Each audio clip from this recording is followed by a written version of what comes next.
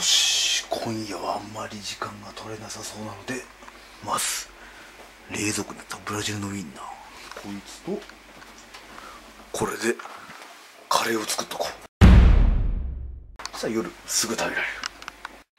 はいお母ちゃんのストックを使うぞ。ブラジルウインナー。よこれ使ってくだます。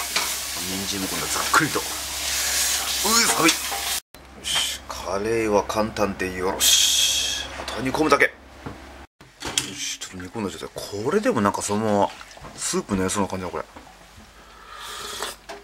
おお美味しい。ここまでもスープいけるぞこれ。めっちゃ美味しそう。はいおはようございまおはようごすざいます。お母ちゃんが入院してこれで3日目ぐらいの朝か、えなん。とかまだ3日？まだ3日だよ。あと27日ぐらい残ってるよちゃんと洗濯物も干して掃除機もかけてそんなに汚れてない。お母ちゃんお母ちゃん安心してください。野郎3人なんとかやっております。というわけでカレーだ。お母ちゃんが隠し持ってたブラジルのウインナーが入ってます。これねブラジルのウインナー入り。あとコチコチに凍ってたほんのちょっと残ってるウインナーも足してウインナーウインナーしたカレーいってみます。でチーズ。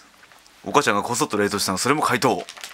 食材を使っていくよ多分しばらくね食材買わないでいいんじゃないかなこの家、相当食材入ってる。よしじゃあいただきます。しますか。はい。せーの。はいいただきます。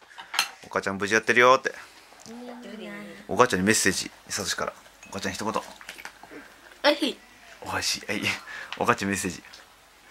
頑張って。いつも言うでございますな。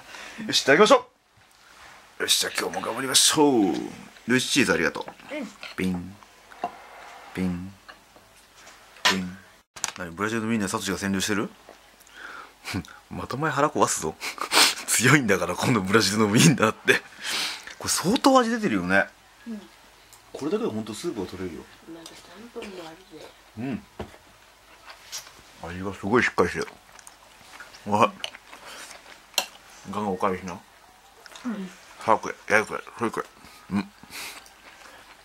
じゃあ、久々にサチの引き身ポーズやってみる？せーの三、二、一、九。な